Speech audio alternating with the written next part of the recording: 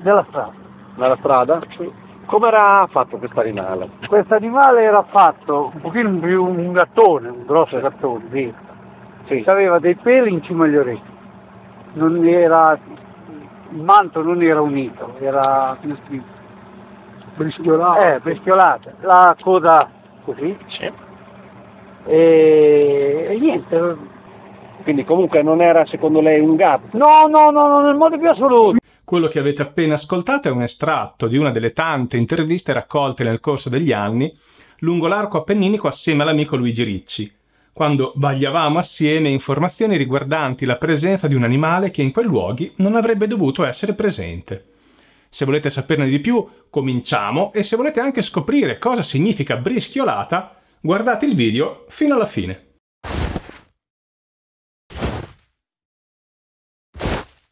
In Europa esistono due specie di lince, quella eurasiatica che come il nome lascia intuire è diffusa su di un vastissimo areale dalla parte centro-settentrionale dell'Europa a quella centro-orientale dell'Asia e quella pardina che sopravvive con un esiguo numero di esemplari, stimato a poco più di 150 individui maturi, in alcune zone meridionali della Spagna. Per quanto concerne l'Italia, i dati naturalistici dimostrano che la specie eurasiatica era presente sulle Alpi con una popolazione autoctona sino ai primi decenni del 1900, mentre per l'Appennino il record paleontologico a nostra disposizione si ferma circa 3.000 anni fa, durante la fine dell'età del bronzo, con resti associati a insediamenti umani in area abruzzese presso Trasacco e nelle paludi del Celano. Ufficialmente quindi la lince non è stata mai presente in Appennino in epoca storica, e questo è un dettaglio molto importante, perché nel 1971, all'interno di una pubblicazione scientifica per i lavori della Società Italiana di Biogeografia, con il titolo La lince nell'Appennino centrale, l'allora direttore del Parco Nazionale d'Abruzzo, Franco Tassi, citava una ricca bibliografia relativa alla possibile presenza dell'animale sino alla fine del XIX secolo. Nel suo lavoro Tassi scriveva che ho potuto raccogliere una serie di elementi e una basilare documentazione, che mi permettono di affermare con ragionevole tranquillità che la lince, malgrado ogni asserzione contraria, è esistita realmente, almeno fino a tempi non lontani, in diverse località dell'Appennino. In effetti, dovendo prendere alla lettera la documentazione storica disponibile, sembrano esserci ben pochi dubbi circa questa interpretazione. Elencare tutti i riferimenti sarebbe un'operazione impossibile in questa sede per motivi di tempo e mi limiterò a quelli che ritengo più significativi. La raffigurazione iconografica indiscutibilmente più precisa, realizzata dal vivo con ogni diligenza, risale al 1630 e proviene dal famoso letterato e naturalista Francesco Stelluti, fondatore dell'Accademia dei Lincei, secondo il quale la lince nasce in India ed Etiopia, con tutto ciò hanno ancora la nostra Italia e ne sono stati presi più volte nei nostri monti di Fabriano. Un'altra immagine, abbastanza inconfondibile, è presente in una carta topografica della Marsica, Appennini abruzzesi, risalente al 1750 circa. Mostra un animale dal manto maculato e ciuffi di pelo sulla punta delle orecchie, con accanto la citazione Felipardus propepium occisus mense aprile anni 1735. Gattopardo ucciso Opi nel mese di aprile del 1735. Secondo Tassi il fatto che l'evento fosse stato inserito all'interno di una carta topografica starebbe a indicare che già all'epoca doveva trattarsi di un animale tutt'altro che comune e molto poco conosciuto. Anche lo storico della caccia e della pesca Leonardo Dorotea parla della presenza dell'animale in quelle stesse zone nel 1862, descrivendola come fiera dall'acutissima vista, dagli artigli retrattili, dalla pelle folta e indanaiata, dai pannelli all'estremità delle orecchie aggiungendo che nel 1818 presso Civitella Alfedena un cacciatore di nome Lombardozzi ne aveva abbattuto un esemplare.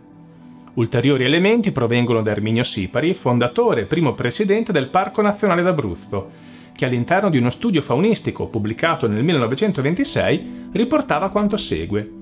Che la lince fosse presente nell'Alta Marsica sino al 1860 non ho dubbio alcuno, per la testimonianza di mio padre, provetto cacciatore ma anche oggi la lince circola per quei boschi. Francesco Lippa, guardia comunale di Villa Vallelonga, racconta di aver di recente assistito alla lotta tra il suo cane e un animale che dai connotati da lui riferiti si ha ragione di ritenere sia davvero una lince. Il Lippa assicura che l'animale era di pelo fulvo e aveva somiglianze con un cane corso con ciuffi di pelo alla punta delle orecchie. Il Sipari aggiungeva anche come in quelle zone le gesta della lince, chiamata lupo cervino, lupo cerviero e lupo cervaro, fossero rimaste impresse nella memoria storica attraverso le favole raccontate ai bambini. Di altra idea era invece lo zoologo Alessandro Ghigi, collaboratore e amico di Sipari, secondo il quale la lince non era mai stata presente in Appennino e ogni presunta segnalazione era in realtà riferita al gatto selvatico. Riferimenti successivi arriveranno soltanto circa 40 anni dopo, quando nel 1968 Alberto Mario Simonetta, professore presso le università di Firenze e Camerino, scrisse che la lince era presumibilmente estinta, riportando una cattura da lui considerata come certa nel 1906 e l'avvistamento di un cacciatore di opi nel 1946. E qui si ferma quella che io considero come una prima fase della saga della lince in Appennino, cioè quella delle informazioni storiche.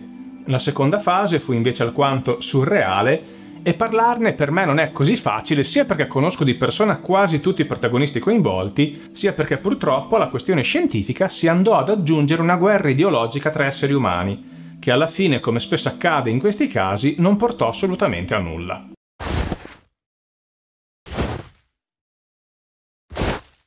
Dal 1969 Tassi fu nominato direttore del Parco d'Abruzzo che sotto la sua guida divenne una meta visitatissima e un simbolo della conservazione celebre in tutto il mondo.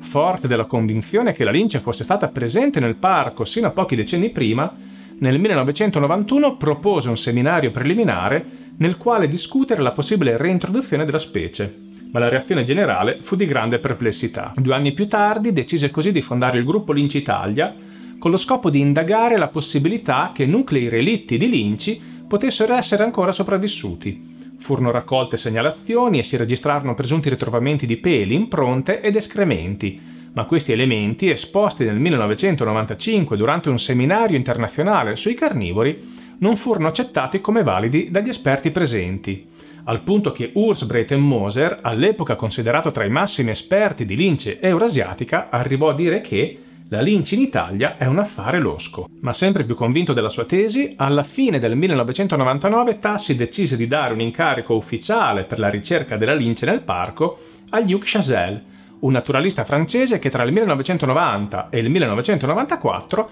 aveva dichiarato di aver raccolto prove sulla sopravvivenza della lince nei Pirenei, dai quali era considerata scomparsa dal 1960 circa.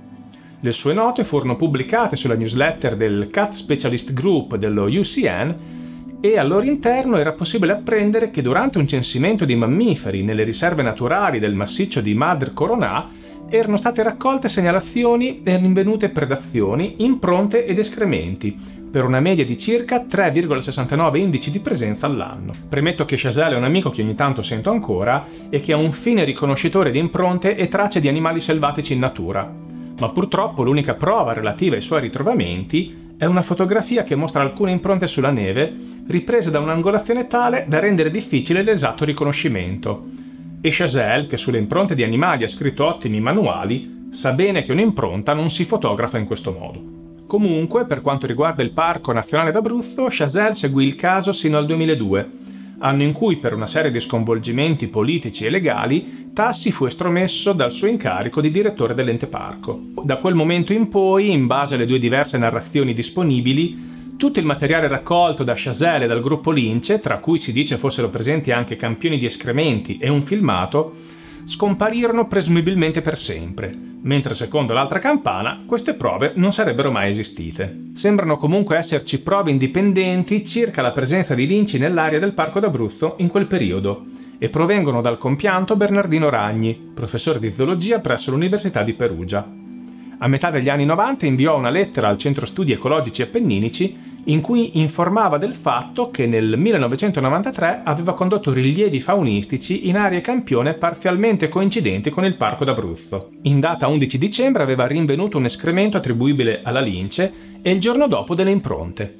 L'escremento fu analizzato e autenticato in quanto contenente peli del felino, dovute al tipico comportamento di questi animali di leccarsi il manto. La sua ipotesi è che una lince fosse stata deliberatamente rilasciata o sfuggita nella Marsica. Successivamente, nel 2008, pubblicò un articolo nel quale dichiarava di aver rinvenuto 45 indici di presenza della specie in 5 diverse regioni d'Italia, Toscana, Marche, Umbria, Lazio e Abruzzo dal 1992 al 2008. Questi indici comprendevano soprattutto avvistamenti, ma anche impronte, escrementi e predazioni.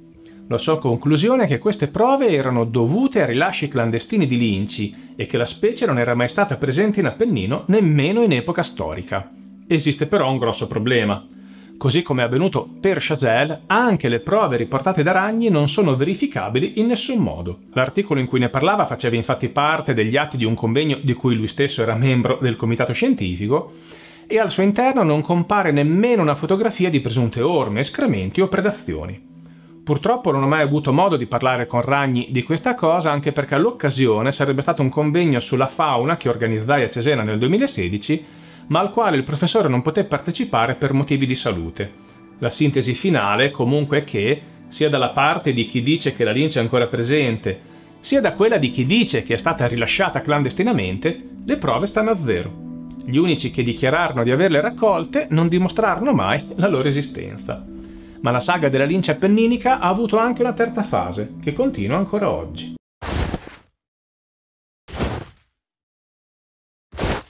Tassi infatti propose che, visto che le descrizioni del passato sembravano indicare un animale più piccolo e più maculato della lince eurasiatica, in Italia fosse presente una popolazione relitta di una sottospecie ancora non classificata dalla scienza, per la quale propose il nome di Lynx lynx appennina. Ma da quel momento fino ad oggi, nonostante non passi anno senza qualche sporadica segnalazione di avvistamento di lince da qualche parte in Appennino, la situazione non si è spostata di una virgola. Tante parole, ma zero fatti. Non posso poi non segnalare l'episodio più surreale in assoluto. Era il mese di maggio del 2013 quando il sito dell'Istituto Superiore per la Ricerca e la Protezione Ambientale, per gli amici ISPRA, pubblicò una notizia successivamente rimossa, dal roboante titolo Per la prima volta fotografato una lince in Appennino. In esso era possibile leggere che L'esemplare, un individuo adulto, è stato fotografato il 19 aprile 2013, poco dopo le 19, nel territorio dell'azienda faunistico-obenatoria Sasseto Mortano, in comune di Santa Sofia. Le foto sono state scattate al margine di una vecchia carrareccia, in un'area del medio Appennino forlivese caratterizzata da fasce boscose, calanchi cespugliati, pascoli e campi coltivati, ricca di ungulati, caprioli, daini, cervi e cinghiali, lepri, fagiani e pernici rosse, tutti animali che rientrano nello spettro alimentare di questo predatore. La presenza della lince in questa regione deriva con tutta probabilità da esemplari rilasciati in natura dall'uomo in anni recenti. Anche l'immigrazione dall'area alpina, dove attualmente vivono pochissimi esemplari, appare assai poco probabile per ragioni geografico-ambientali e demografiche. Qui apro una parentesi al volo, i pochi esemplari che vivono attualmente nelle Alpi non fanno parte della popolazione originaria, ma sono arrivati da paesi confinanti, come ad esempio la Slovenia. Comunque, la notizia pubblicata da Ispra scatenò ben presto il solito carosello di cui riporto solo il sunto dei fatti senza fare i nomi di nessuno. I vari forum e mailing list naturalisti che divennero teatro di un botta e risposta tra chi affermava testualmente che si trattava sicuramente di un esemplare obeso da cattività e chi assicurava invece di aver intervistato personalmente l'autore delle fotografie, confermandone senza ombra di dubbio la loro provenienza penninica.